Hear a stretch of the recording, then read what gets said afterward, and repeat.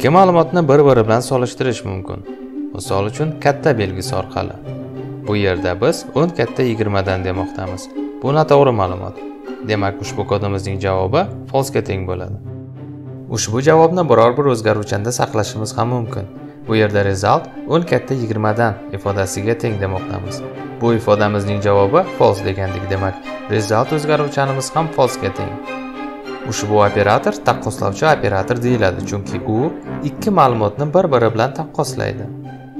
Bir nechta taqqoslovchi operatorlarimiz bor.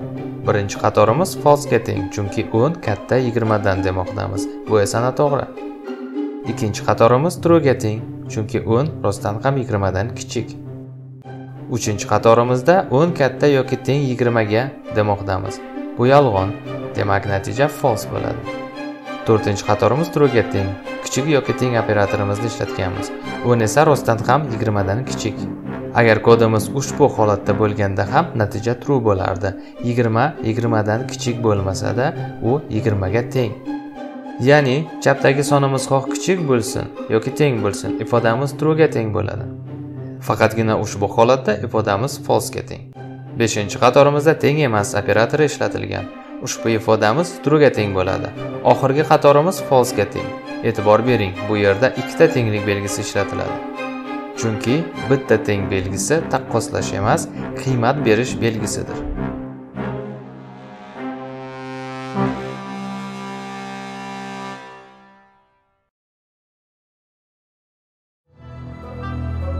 Dasturlashda bir xil komandalarni biror bir shart bajarilgandagina ishlasin deyish mumkin. Misol uchun agar ko'cha sovuq bo'lsa unda etik kiy. Bu yerda etik faqatgina ko'cha sovuq bo'lganda kiyilishi buyurilmoqda. Ko'cha sovuq bo'lmaganda ushbu komanda ishlamaydi. If konstruksiyasi ushbu ko'rinishda yoziladi.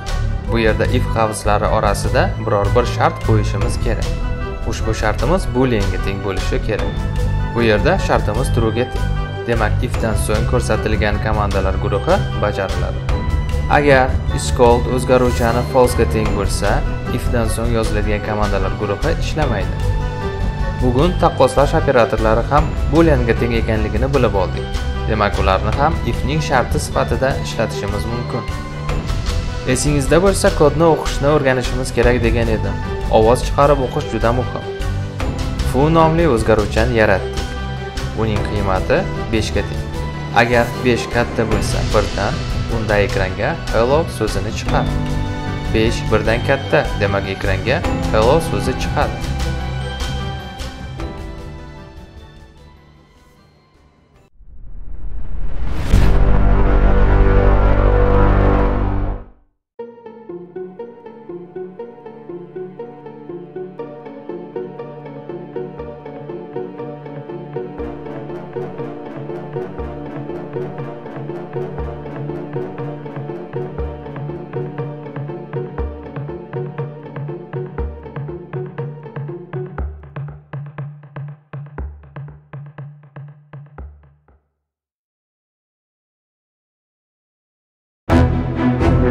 Esingizda bo'lsa kalendarimizni 3 ta funksiya orqali yozgan edik endi bilimimiz oshdi keling barcha oylar uchun bitta funksiya ishlatamiz demak mons nomli funksiya yaratamiz uning name degan parametri bo'lsin uni ekranga chiqaramiz oyning nechinchi sanadan qaytishini ikkinchi parametr hal qilsin birdan 28 gacha bo'lgan raqamlarni ekranga chiqaruvchi printlarni yozamiz. 29 raqami hamma oylarda ham yo'q. Misol uchun fevralda 28 gacha raqamlar chiqishini istaymiz. Agar final day 30 ga teng yoki undan katta bo'lsa unda 29 va 30 raqamlarini ekranga chiqar deb yozaylik. Yana bitta qoida yozamiz. Agar file day 31 ga teng bo'lsa unda 31 raqamini ekranga chiqaramiz. Keling tekshirib ko'ramiz. Birinchi marta chaqirayotganimizda name yanvarga teng file day esa 31 ga demak ekranga yanvar so'zi va 1 dan 28 gacha bo'lgan raqamlar chiqadi. Agar 31 katta yoki teng bo'lsa 30 ga 31 esa 30 dan katta demak bu yerda true ya'ni if ishlaydi. Agar 31 katta yoki teng bo'lsa 30 ga unda ekranga 29 va 30 raqamlarini chiqar demoqdamiz. Keyingi qoida. Agar 31 teng bo'lsa 31 ga ular teng demak if ishlaydi. Unda ekranga 31 raqamini chiqar demoqdamiz. Funksiya tugadi. Demak birinchi safar chaqirayotganimizda funksiya ekranga yanvar so'zini birdan 28gacha raqamni keyin 29 va o'ttiz raqamlarini so'ngra o'ttiz bir raqamini ham ekranga chiqaradi. Ikkinchi marta chaqirayotganimizda fevral so'zi va birdan yigirma sakkizgacha raqamlar chiqadi. Agar yigirma sakkiz katta yoki teng bo'lsa o'ttizga bu yerda yigirma sakkiz katta ham emas teng ham emas o'ttizga.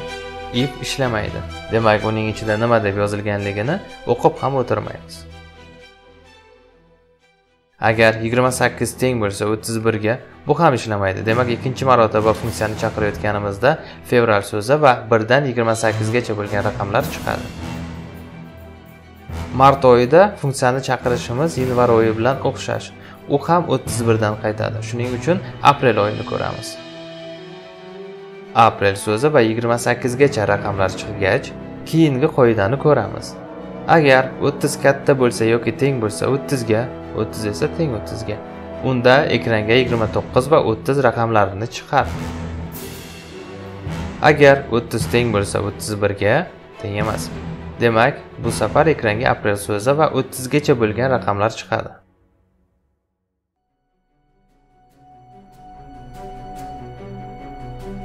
If konstruksiyasi orqali agar ko'cha sovuq bo'lsa unda etikki deb yozgandik. Bu konstruksiyani rivojlantirishimiz mumkin. Else konstruksiyasi faqat if dan keyin kelishi mumkin. Mustaqil ishlamaydi. If ishlamaganda else ishlaydi. Ushbu kodni ovoz chiqarib o'qiymiz. Agar is called truega teng bo'lsa bu esa rostdan ham truega teng. Unda ekranga etikni key yozuvi chiqsin. Else'ni o'qib ham o'tirmaymiz chunki if ishlaganda else ishlamaydi. Ekranga boshqa tekst yozuvini chiqar. Agar is called true bo'lsa u true emas. Bo'lmasam ekranga krossovka kiyaver so'zini chiqar. Ekranga boshqa tekstni chiqar.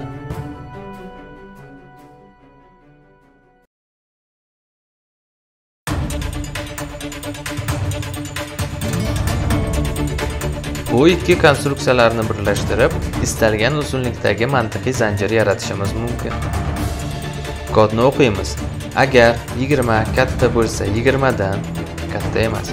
Bo'lmasam agar 20 kichik bo'lsa 20 dan kichik emas. Bo'lmasam ekranga raqamlar teng tekstini chiqar.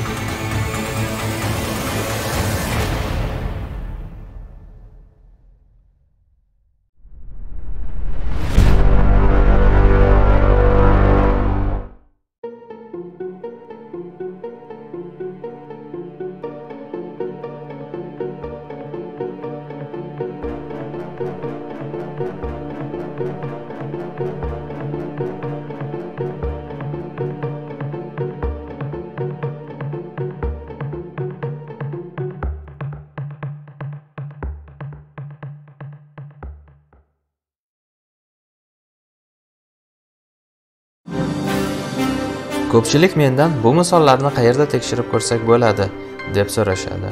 Biz biror bir konkret tilni o'rganayotganimiz yo'q. Ushbu kursni umumiy dasturlash teoriyasi deb nomlaganman.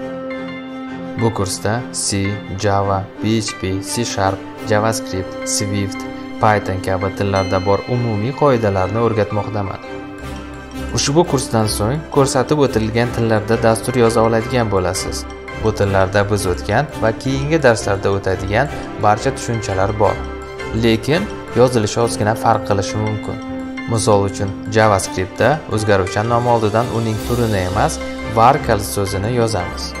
Php tilida barcha o'zgaruvchanlar dollar belgisidan boshlanishi kerak. Python tilida esa komandalar oxirida nuqtali vergul belgisi qo'yilmaydi. Ushbu sintaksisdagi farqlarni bir ikki kun vaqt ketkazib tushunib olishingiz mumkin. Chunki dasturlash bu sintaksisni o'rganish emas dasturlash bu fikrlash degani. Umumiy dasturlash teoriyasidan maqsad ham shu. Sizga dasturiy fikrlashni o'rgatish. Undan keyin sizga biror bir tilda dastur yozish muammo bo'lmaydi. Fikrlashni o'rganish uchun videoda ko'rsatilgan misollarni qog'ozda yozib ko'rishingiz kerak. Chunki allaqachon tasdiqlanganki odam qog'ozda yozgan informatsiyasini kuchli o'zlashtiradi.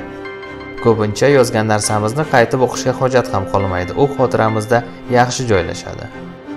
Fikrlashni o'rgatadigan yana bir narsa bu kodni ovoz chiqarib o'qish. Bu misollarni qayerda tekshirib ko'rsak bo'ladi deb yozgan o'quvchilarga javob. Ushbu kursda sizning miyangiz kompilyator hisoblanadi. Barcha ko'rgan misollarni qog'ozga ko'chirib uni miyada bajaramiz.